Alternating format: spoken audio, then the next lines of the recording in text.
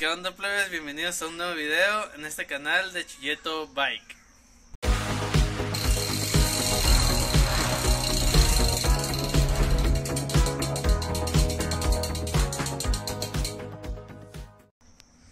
En el video del día de hoy plebes nos encontramos aquí en la casa y vamos a hacerle algo a la bicicleta bueno, a las llantas del Carlitos, que aquí me acompaña en esta noche. ¿Qué raza? Aquí andamos, aquí andamos, haciendo churro. ¿Qué le vamos a hacer tu bicicleta, Carlos? Vamos a hacer una maniobra para no poncharme, porque todas las carreras andan valiendo roña. Tres carreras, tiene un año de ciclista, ha competido en cuatro carreras, tres de ellas ponchado. Y no las terminó. He competido en cuatro y en cinco me he ponchado. Qué tragedia, ¿no? La de la tuya. Pero pues vamos a, hacerle una actualización que vamos a cambiarle eh, las válvulas, las válvulas de túbules porque actualmente pues tiene las válvulas que, todos conocemos que es la válvula francesa, esta delgadita pero hemos tenido algunos problemas con estas válvulas porque se filtra aire y por alguna otra razón pues se termina saliendo todo el aire y a mitad de la carrera pues se poncha la llanta y no, no logramos terminar la carrera. Así que vamos a cambiarla por estas válvulas que son túbeles pero es la entrada normal la válvula americana que la neta a mí se me hace mejor yo la traigo en mi bicicleta allá ahí está la llanta de enfrente yo se la puse y sin ningún problema que la neta pues se me hace mucho mejor ¿Tú qué opinas, Carlos? Sí, una cosa muy importante de esa válvula que traes en la mano ahorita es que aquí en la región donde vivimos, las gasolineras eh, para echar aire Vieras cómo se batalla con, con, la válvula francesa. Con esa válvula no, no, le entra aire, en vez de echarle se le saca. Y eh, tú ya la calaste en tu bicicleta con esa válvula y ya este, funciona mucho mejor. Pues eso es un plus para nosotros porque siempre andamos batallando. Y yo, yo creo que en todo México las gasolineras pues tienen la maquinita esa que le picas ta, ta, ta, y... Pero y... te lo te comas, de...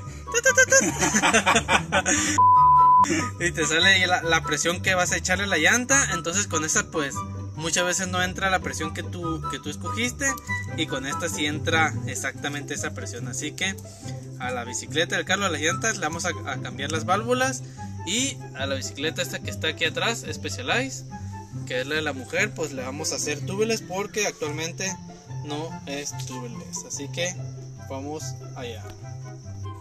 Pues vamos a comenzar, vamos a sacarle el aire, Carlinga. Tú le sacas el aire a una y yo a la otra. Vamos a sacarle el aire y vamos a quitar la llanta. Y ahorita les sigo eh, mostrando pues cómo hacer el cambio de las válvulas, que no tiene mucha ciencia. Y otra cosa, si no saben hacerlo ustedes, pues es mejor acudir a un taller con un mecánico experimentado, ¿va Carlos? Sí, fácil, alguien que sepa bien. Porque si no, así casi siempre se hace un cochinero, pues, cuando no se sabe. Pero si saben y, si no les importa, pues gastar de más, porque a veces se pierde que trozaste la válvula o trozaste la cinta o no sé, otra cosa. Y pues termina uno gastando más. Muy importante que no tengas una carrera encima, no te pongas a moverle si tienes una carrera encima o algo, a un evento que, no quieres andar valiendo churros, pues que entrenaste toda la, temporada para ese, ese Esa competencia. Feísimo caso. No queremos que te pase eso, por experiencia propia te lo decimos. Vamos a quitarle la llanta aquí y ahorita le sigo grabando. Otra recomendación, plebes, hay que, estar checando la llanta constantemente. A ver si tiene líquido o no, porque este vato, cheque nomás, sin nada de líquido, con la pura bendición. ¿Qué pasó ahí, Carlitos? Eh? No puedo decir nada, amigo. no hay mucho que decir al respecto. Y, lo peor del caso que un día me trajo la bicicleta, bueno, me trajo la llanta y me dice, eh, loco, trae un sonadero esta llanta. Vamos a revisarla. Le abrí la llanta y traía un clavo como unas 2, 3 pulgadas. Pero el tamaño de un dedo así, del tamaño de un dedo era el clavo así. Y así de grueso, o sea, era un fierrón el que traía y así andaba. Yo le daba vuelta a la llanta y decía, hey, como que se escucha un ruido, le decía a mi cámara, como que escucha un ruido, chuyato ahí, la neta. No, ese líquido, me decía, ese líquido es que hace ruido. Pero eso era un ruido exagerado, pues. Hasta que por fin un día nos decidimos, la trajimos y trae un fierrón, un fierrón traía Martina. Hagan de cuenta que lo abrimos y trae ese fierro hacia adentro, era así, girando. De milagro no agujeró el. Pero bueno, vamos a sacarle la llanta. Para sacar la llanta, pues hay que usar estas espatulitas. Porque son llantas que a veces están bien, que quedan bien justas en el ring y pues se batalla para sacarlas con la pura mano. Así que con las espatulitas estas, ya sacándole un buen pedazo, la puedes sacar ya con la mano porque está fácil, pues prácticamente fácil. Y así es como está el ring, aquí está la cinta. Eh, hay que revisar también la cinta que esté en buenas condiciones, que no esté picada o agujerada, pues para que siga funcionando perfectamente, para que el líquido no se filtre. Y aquí está la válvula, así que se la vamos a quitar. Eh, pues para quitar las válvulas que, que son túbiles no tiene mucha ciencia, simplemente quitamos la tuerquita esta, empujamos esto hacia arriba y pues sale la válvula eh, que se le conoce como válvula francesa, que es esta, que sí sirven, pero la neta muchas veces eh, se taponean porque la entrada de aire pues es un poco más angosta, entonces muchas veces se taponean eh, o se tapa por este lado y para inflarlo para echarle aire pues se batalla un poquito más. Y en el caso de estas otras válvulas que le vamos a poner la, la entrada de aire pues es más ancha y entra más el flujo de aire y para ponerla igual quitamos la tuerquita. Quitamos también este o-ring o empaque o como lo conozcan. Ponemos la válvula por aquí obviamente. El agujero pues se la va a hacer un poquito más ancho. Pero no hay ningún problema. Ponemos el sellito por aquí por abajo. Y la tuerquita. Y pues para que quede bien apretado eh, simplemente hacemos presión con nuestro dedo aquí y este lo vamos apretando pues con nuestra fuerza. Hacemos presión y apretamos pues para que quede bien fijo. Y hay algunas válvulas que, que son como esta que por aquí traen para poner su, su llave Allen. Le pone la llave esta la puedes detener con una pinza y la aprietas eh, ya pues más fuerte esta es otra de las razones por las que debemos de checar, de checar constantemente nuestros rines, si son túbeles.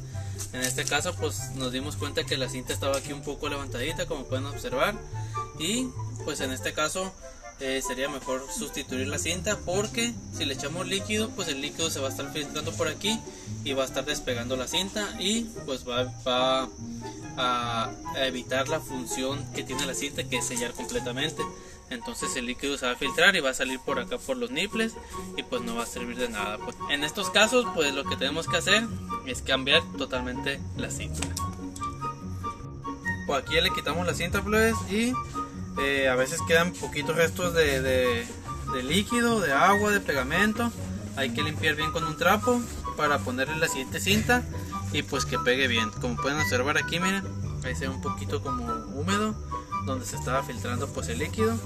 Nada más secamos bien para que la otra cinta que le vamos a poner pues pegue eh, de la mejor manera.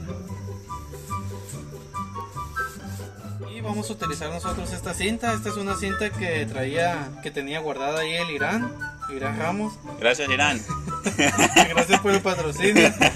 No es cinta túbeles así que nos la vamos a tirar de valiente haciendo túbeles esta llanta. ¿Cómo la ves? No, Lo mejor sería usar una cinta específicamente para túbeles, aunque esta cinta pues es bastante resistente, es una cinta americana que la neta no sé para qué la utilizan allá, pero es aguantadora. Y para poner la cinta pues simplemente empezamos de un lado, la colocamos en el ring y vamos jalando esta.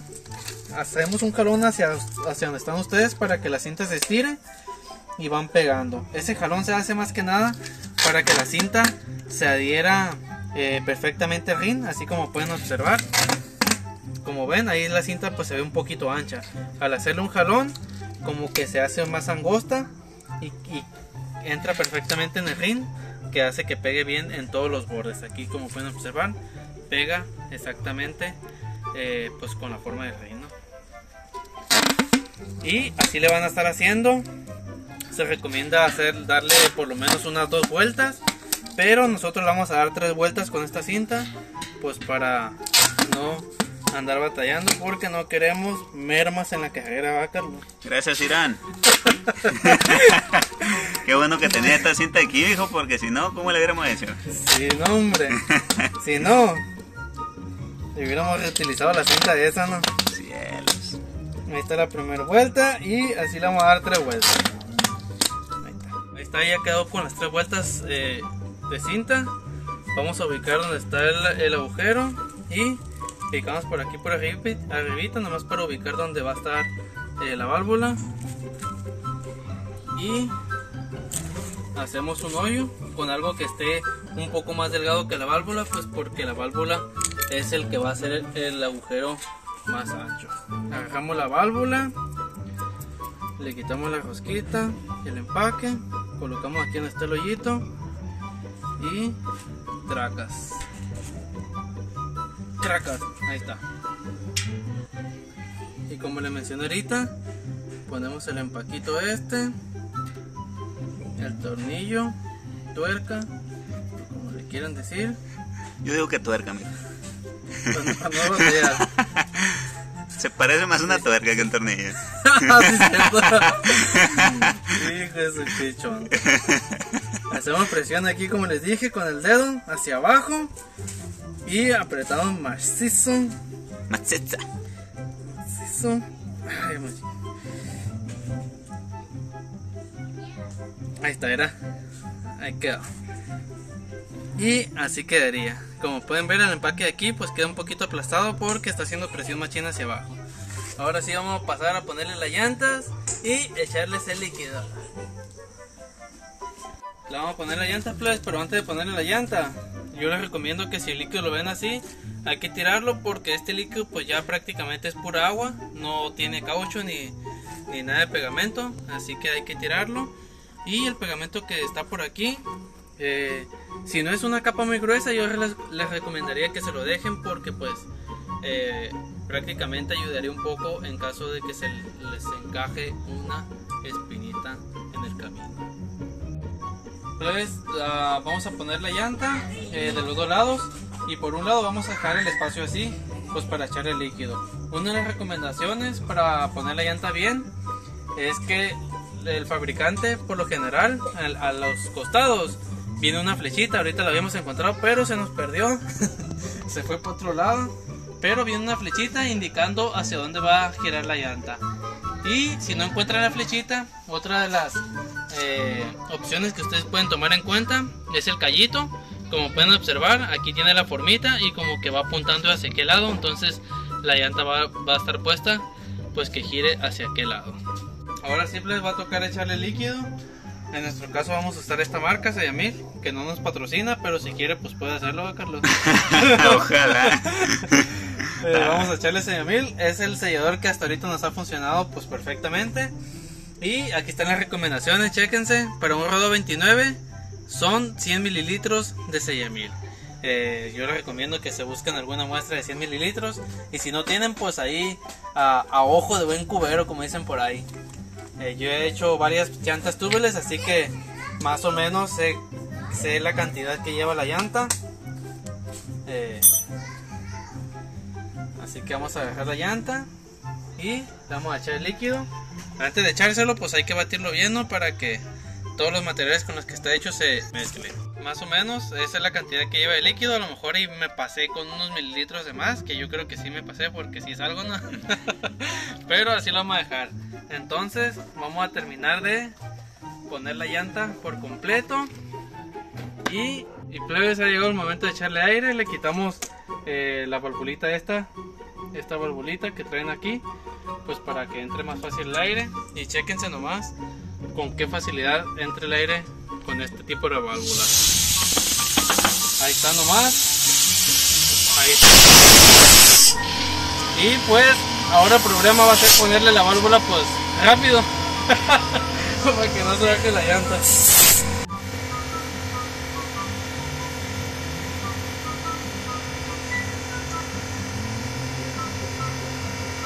Por fin pudimos echarle el aire a las llantas y una recomendación, cuando inflen la llanta hay que darle unos golpecitos así por, por todo alrededor de la llanta, por cada lado, uno y el otro lado. Esto para que el líquido pues llegue a, a la ceja de, los, de las llantas y pueda sellar bien, pueda pegar bien en las paredes, en las cejas. Algo que no me quedó muy claro fue la parte en la que dijiste por fin. ¿Cómo que por fin si está muy fácil, mijo? Eso no me quedó nada de claro. Ay, ay, ay, es que ellos no lo vieron aquí, pero sí le batallamos un poquito. Bueno, no mucho, no, pero pues ya quedaron. Entonces, ahí unos golpecillos, así como le está haciendo el Carlingas. Y. y ya con esos golpecitos que le dio, así como lo vieron, ya con eso queda. Una limpiadita, una lavadita y ya están listas para rodar. Para irte ponchar. Para irte a ponchar, a valer roña en la ruta. Y así es como quedaron listas ya las llantas hechas túbeles con la válvula americana. Que la neta, con esas valvulitas pues ya no ocupas traer el adaptador, Carlos. ¿Y qué vas a poner?